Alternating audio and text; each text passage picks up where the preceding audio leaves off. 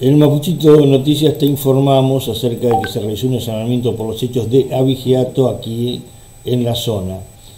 Relacionado a los distintos hechos de abigeato que tuvieron lugar en la zona atlántica, el Ministerio Público Fiscal dispuso una serie de diligencias en la que el Cuerpo de Investigaciones Judiciales de la Policía de Río Negro, en conjunto con la Comisaría 38, llevaron adelante allanando un domicilio. En este sentido, se procedió a la toma de muestras e hisopados de carnes vacunas que se encontraban en el interior de tres freezers en estado congelado.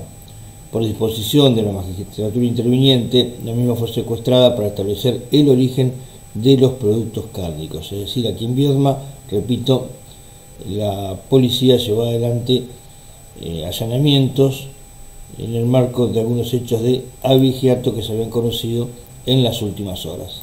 Bicicletería Marcelo. Amplia variedad de bicicletas, los mejores precios, todo en accesorios. Además, mantenemos y reparamos tu bicicleta con atención personalizada. Te asesoramos porque somos ciclistas igual que vos. Visítanos sin compromiso en 7 de marzo 176 de Patagones o en Caseros 1314 de Viedma.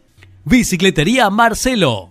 La Luisita, fábrica de pastas artesanales. Tenemos las pastas tradicionales, pero también innovamos con nuevas pastas y sabores. La Luisita, a la vanguardia, desde la comarca para la región. 25 de mayo 455, Viedma. Mini Mercado Raíces. Carnicería, verdulería, almacén, kiosco. Abierto todos los días. Colón y Lorenzo Martínez, Patagones.